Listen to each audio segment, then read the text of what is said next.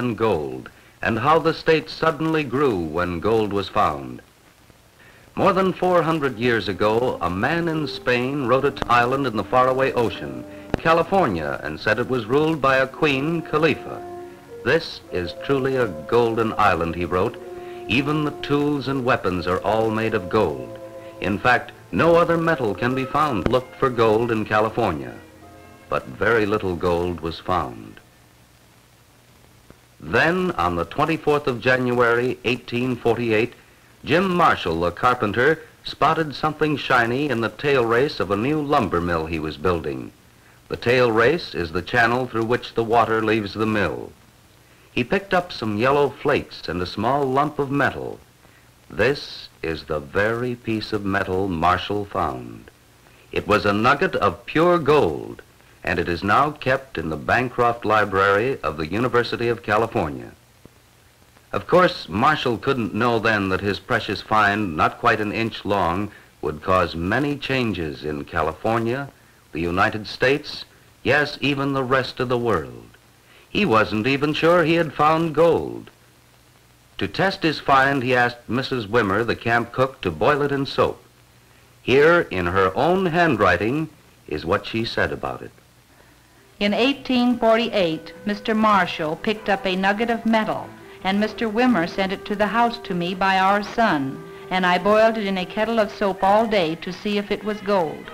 It proved to be a nugget of gold. From this, the mining began. Now Marshall hurried 50 miles south to Fort Sutter to tell his boss. Captain Sutter, an immigrant from Switzerland, had landed in Yerba Buena, which is now San Francisco, a few years earlier to make a new life in America. The fort he built by the Sacramento River has been restored as a state monument exactly as it was in Sutter's time. In this room, which you can still see today, Jim Marshall told his boss, Captain, I believe I found gold by the mill. Sutter jumped from his chair. What did you say? What did you say? Gold? Come to my private office. Behind closed doors, they tested the metal with acids and weighed it. It was heavier than silver. Now they knew it was really gold. They tried to keep it secret, but the news leaked out. First, a San Francisco paper printed a small item about it. Gold was found in Sutter's Mill on the American River, it said. From San Francisco, the news spread.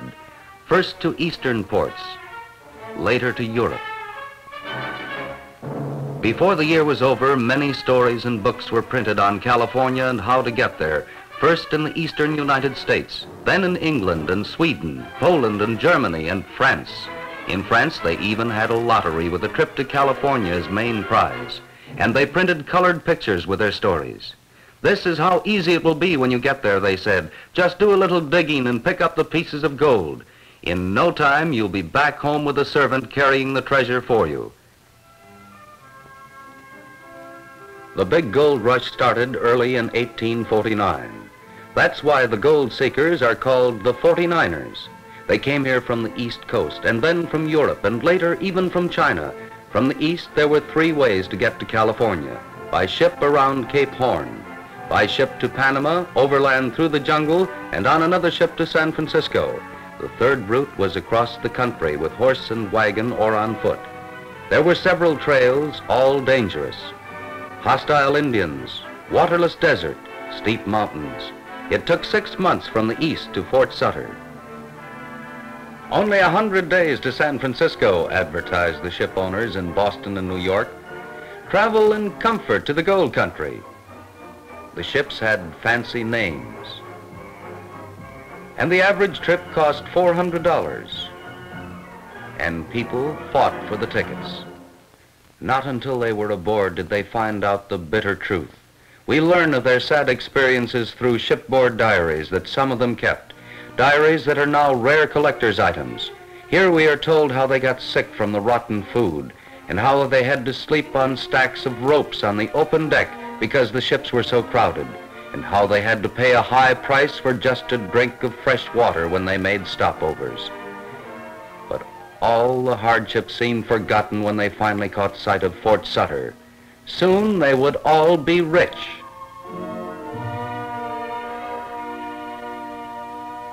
The thousands of early settlers that came through San Francisco didn't mind that at first there were only tents to house them. Expecting life to be rough, they had left their womenfolk at home. Soon as San Francisco, there were simple wooden houses and shops where the newcomers could buy equipment and supplies for the mines. For $50, they take a riverboat to Sacramento near Fort Sutter. Sacramento was then just a landing place. Often after heavy rains, the river overflowed. But Sacramento was the last stop before the gold country. From here, the miners headed straight for Coloma by the American River, 50 miles up north, where the first gold had been found. Now the spot is very peaceful and quiet. In 1849, about 2,000 miners camped right here, staking a claim every 10 square feet and refusing to leave, though the land was leased by Sutter.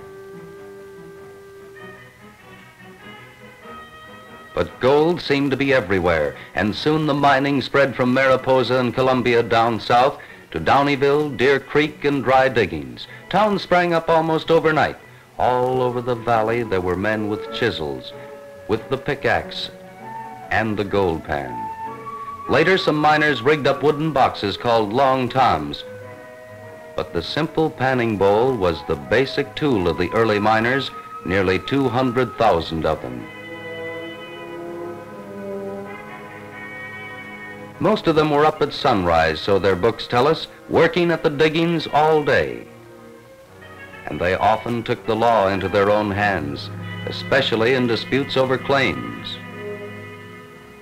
Then, as the gold got more scarce, someone figured out that a heavy jet of water directed against a riverbank would wash down the surface dirt and rock much faster, and it would bring in more gold. It did, and with hydraulic mining, as it was called, the total gold found in four years was worth $500 million. But at the same time, as whole mountainsides were washed down, the dirt and boulders buried good farmlands and ruined the forests. You can easily spot hydraulic mining sites even today. Nothing will grow in the barren dirt. Because of that, a law was passed prohibiting hydraulic mining.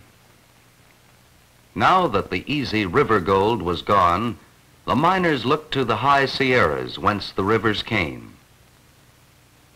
Ore samples were brought to Nevada City and tested in the assayer's office. They proved to be very rich in silver and gold. But it would cost money to mine deep inside the mountain. Fast because of the gold, not by digging, but by selling supplies to miners, men like Leland Stanford, Collis Huntington, Mark Hopkins, and Charles Crocker. They formed big companies and put their money into the Comstock mines near Virginia City, Nevada, where hundreds of miners worked thousands of feet below the surface in galleries and passageways, breaking the ore loose. When an underground stream flooded the mines, they hired Adolph Sutro to build a five-mile-long sloping tunnel under the mountains. Now the water could run off, and it was easier to get the ore to the stamping mills, where it was crushed and the gold and silver washed out. Untold millions were thus taken out of Mount Davidson and Gold Hill until the mountains were like hollow shells. Looking at Virginia City today, it's hard to believe that not so long ago, it was a city crowded with 50,000 people, all trying to get rich in a hurry. Now that the roughest time was over, they wanted some comfort and the better things of life. They went to Piper's Opera for the best entertainment that could be had in those days. And if they liked the performers, they rewarded them with gold nuggets thrown onto the stage. At the gambling tables, they often lost their fortunes faster than they had made them. Because money had come easy, they thought it would always be that way. But then the mountain treasures were exhausted. The slag heaps ceased growing mining cars and ore wagons were left where they stood.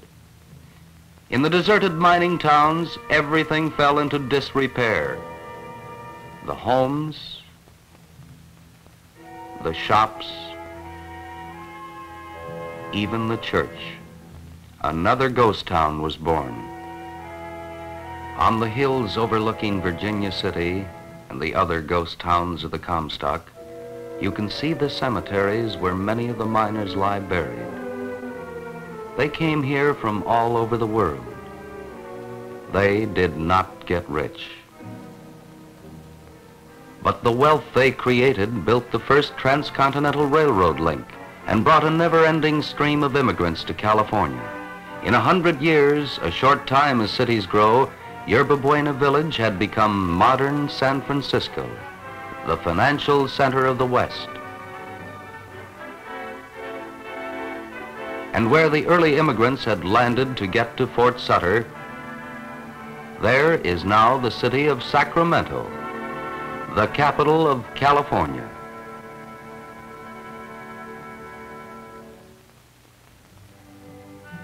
It's quiet now in the gold country. Some sleepy little towns like Nevada City, the old dry diggings.